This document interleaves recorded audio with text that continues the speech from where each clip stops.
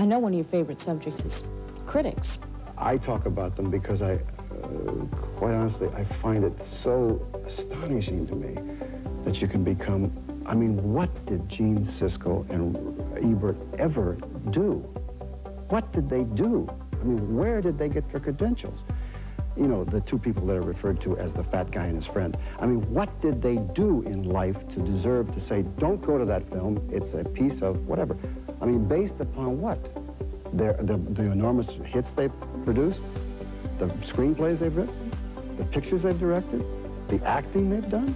Or is it based upon the fact that one is fat and one is thin? I mean, it's astonishing to me. And I do get uh, upset about that, yes.